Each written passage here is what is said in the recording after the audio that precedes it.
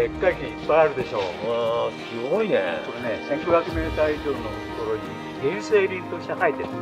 整理これが南アルプスのすごいとこで。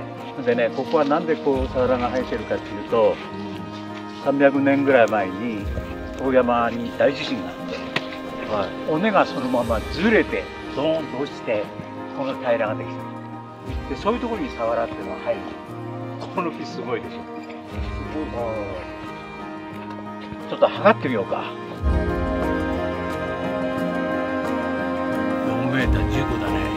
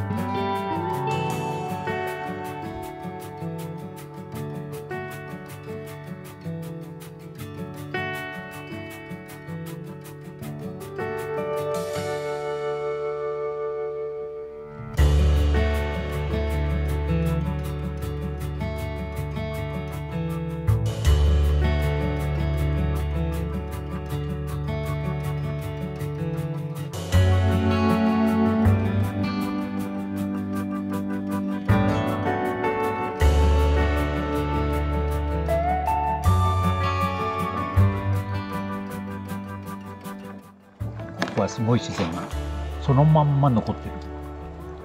誰も手をつけてない。保全されてるとこなんて日本でどいっぱいありそうな気がするんですけどね、もう原生林保全はここだけ。そうなんですね、だから南アルプスの自然のすごさっていうのはこういうところにもあって。だからちょうどこの稜線は長野県と静岡県に境になる今回やっぱりあの森林を感じる参考でしたね、えで木がすごいっていうのはねあの北アルプスにはない植生とかね木とかそれであの高山植物もね実は固有種ではね北アルプスの約3倍ある。固有種。え3倍目、うん、だからみんなあのあまりその注目度が低すぎて なかなか来ないからね。知らないね。知らないだけなんだけどもうあの好きな人は本当にこの南アルプスの凄さっていうのをよく知ってる。まあ今回来てわかるけど、本当に深いし、深いですね。長いしね。谷が長いね。深いね。すごい。まあこの山だってね、標高差1800メートル登るんだからね、下から。100ですからね。うん2000メートル登るっていうのはザラだからね。聖もそうだし。そうですうん。1日で高度差2000メートルの山なんていうのね、うん、まあ、日本にはない。うん